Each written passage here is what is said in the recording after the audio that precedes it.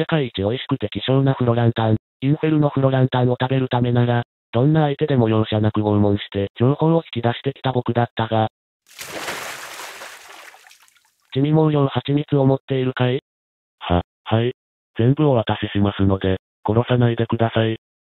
こうして、最高峰の食材たちを集めることができたのだが、フロランタンで最も重要な食材、デンジャラスアーモンドが、未だに手に入っていなかった。なので、デンジャラスアーモンドについての情報が確実に得られるであろう、沢田クリニックの分娩室に押し入り、話を聞いてみることにした。もう頭が出てきてますから、あと少しですよ。は、はい。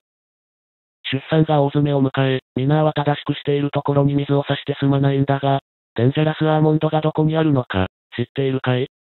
え、ああ、デンジャラスアーモンドなら、パリオリンピックで行われた棒立ち競技で、世界新記録を出して金メダルを獲得した、杉浦さんという方が持っていると思いますよ。そうなんだ。教えてくれてありがとう。お礼に、とんでもないほどの力で君の腕を噛んで。じゃあ、やめてー。一生、僕の歯型の跡が残るようにしてあげるね。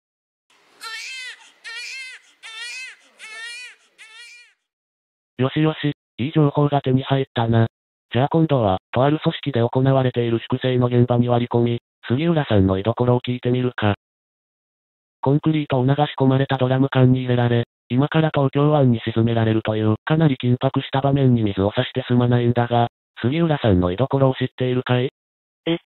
ああ、杉浦さんなら、一方的に好意を向けている、池田さんという方の家に忍び込んで、ベッドの下に潜み、池田さんの帰りを今か今かと待っていると思いますよ。